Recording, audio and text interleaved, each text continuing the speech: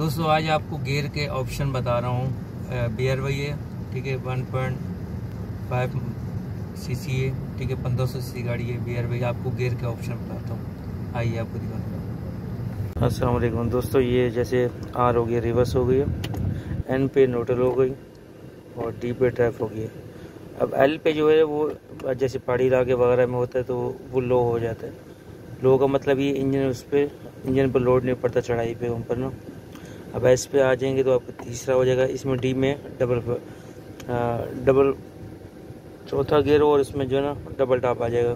क्योंकि ये 1.3 में जो है ना, अगर जैसे आप डी पे लेके जाएँगे, उसमें प्ले होती है, वो तीसरा गियर लग जाता है। मगर इसमें ये ऑप्शन नहीं है, क्योंकि बी आर वाई है, ये पंद्रह सौ सी सी गाड़ी है। ये आपने देख लिया।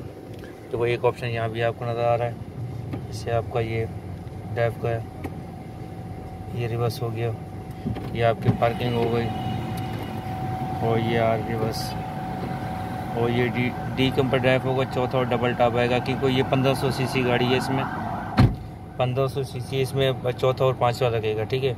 एस पे तीसरा आएगा एल के ऊपर जो है आपको ये लो आएगा, चढ़ाई के ऊपर, क्योंकि ये उसके ऊपर लोड नहीं पड़ता इंजन फ्री हो जाता है चढ़ाई पे ऊपर। ये पहाड़ी इलाका वगैरह काम काम आ जाता है।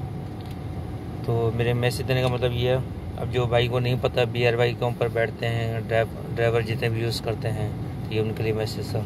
क्योंकि वन पॉइंट थ्री के अंदर तो ऑप्शन नज़र आ जाता है, जैसे आप ड्री पे लेंगे, आप उसको जैसे डी के ऊपर लेंगे, उसका प्ले का ऑप्शन होता है ना, उसमें तीसरा गियर आ जाता है, मगर इसमें ये तीसरे वाला ऑप्शन नहीं है, इसके अंदर एस और आपका एल जो है, वो आपको लो इंजन को फ्री रखता है। शुक्रिया।